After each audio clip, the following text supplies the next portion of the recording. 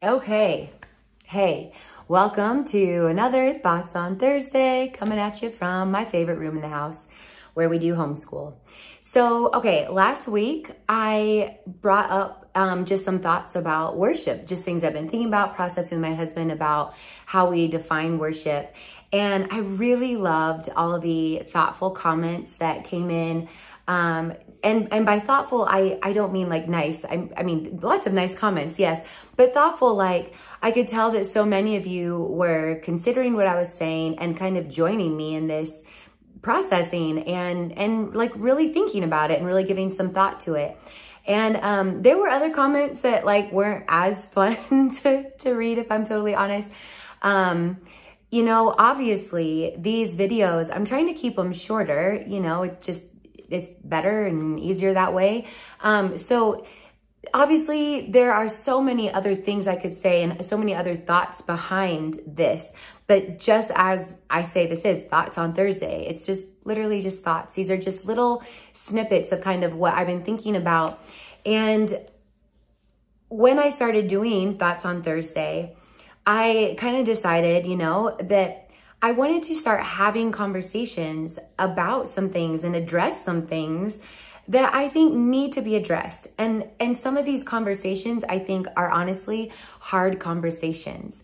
And um, there are things in regards to worship and the industry that I just think need to be talked about.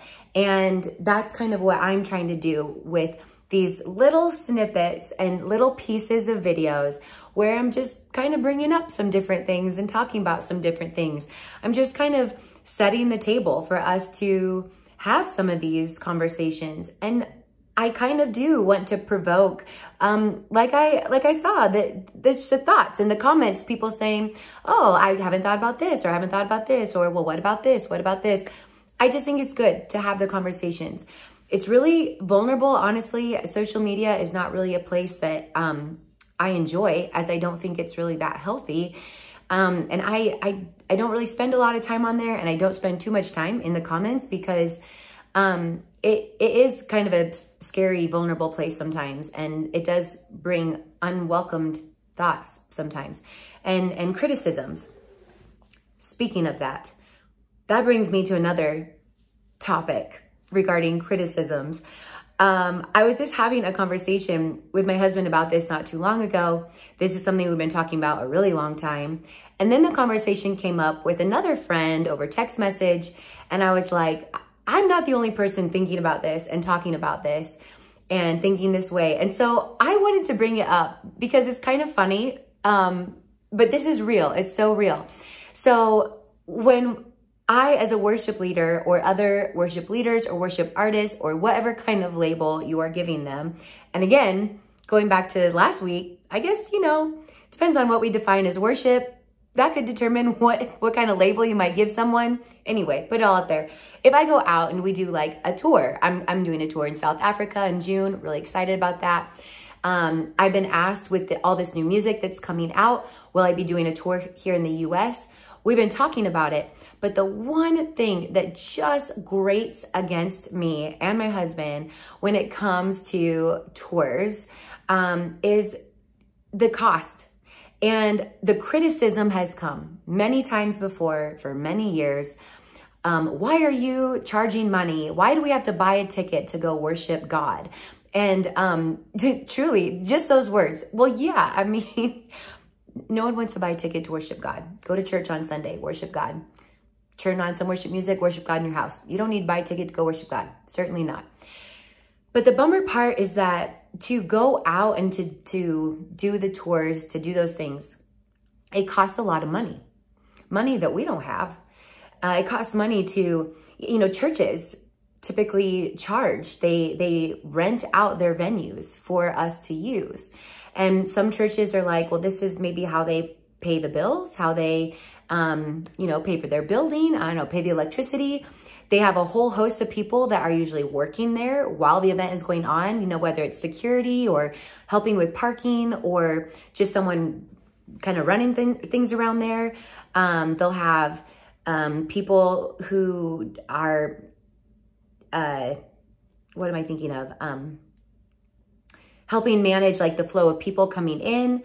Um, oh, cleanup, like people coming in to do, to do cleanup afterwards. Like, I mean, all these things. There's the cost of getting everybody there, you know, tour bus or flights or, you know, both. There's the cost of of paying the people, paying the production guys to who are running the sound, paying the band. Like there's there's all of these costs involved in it. And um, Skyler and I have said um, to friends who work within the, the different companies that help put the tours on, we've said for years, a dream in our heart is to be able to go out and have a tour where every night is free just come, come with your family. It's just free, just to be there. But that is something we, we've actually worked trying to find a way that we could do that and make that happen. Like how we could go out and, and have it be free. And the only way that we could do this is if it was just funded.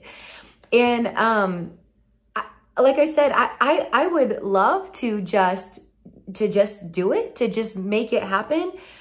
But I can't I can't ask my my band members to come and work for free away from their homes, away from their families, or even partially away from their regular full-time jobs.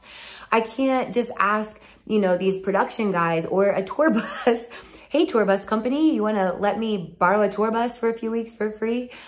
The other part of it is we've we've even gone to, you know, the, the full other side of the pendulum swing and kind of gone, well, I mean, is that wrong? Do we just not go out?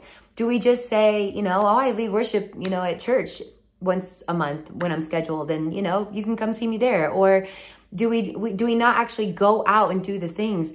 And that doesn't really feel right either because the other side of it is years and years and years of testimonies of what God does in these nights when we go out and we serve the body of Christ in this way. And the other part of that is just that, that I, I feel called to serve the body of Christ, that this is what I love to do is to, to get with other people around the world, in other churches, in other cities, and come together in unison and worship Jesus. It's so powerful and so special and so incredible. And I love to see what God does in that time. I love to hear the testimonies. There, there are testimonies that really stick with us of, of what God did that, you know, we sit at our dinner table and we share with our kids, that we talk about, that we remember. There are testimonies that we remind ourselves when, when things are hard or we're up against something or we're looking at a mountain and we go, oh, do you remember in this city, this person that came and shared this testimony of what God did in their lives? It, it's, we cherish that. It's incredible. And so I don't know that the answer is to not go out, but it is a really frustrating thing. And I, I hear those criticisms and I, I get it. I have, I've had those same criticisms. And so here's something you could pray. You could pray with us that God provides. If you have it in your heart, by all means, you could fund it. You could fund a tour for a worship leader to go out and do what they do. You could, you got a bus? You want to donate a bus? It could happen. You could, you could do that. Um, cause wouldn't it be incredible? Like I said, to be able to, to go out and to do what we do and to not have to charge tickets. Yes, I agree. So I'm just putting this out there. This is just another thought on a Thursday. I think it would be so powerful um, to to have these things funded, to be able to go out and to um, gather people and to say it's free. Bring your unsaved friends, bring your, invite your family, bring them all there and let's all worship Jesus together. I will say, and I will add though, um, I have had many times in the past where we've done these tours and gone into churches and at the end of the night, when we go to settle up with them to pay them what we owe them for renting their building and everything, when many times they have come to Skyler and I and said, we don't want you to pay us. This, this was not a show. This was not a performance. This was not a concert. This was ministry. And we were so blessed. And so we want to bless you and we don't want to charge you to, to use the building. And that is an incredible blessing to us that every time has moved us to tears when churches have done that. That has just been um, so special. So anyways, all that to say, I know that, um, I know that God is faithful and I know that God makes a way. And I know that this is a big dream to be able to go out and to tour and to not charge. And we haven't forgotten that dream. We're still praying for that. And I do believe it's going to happen one day because I think it's important to the heart of God and I think it would be impactful.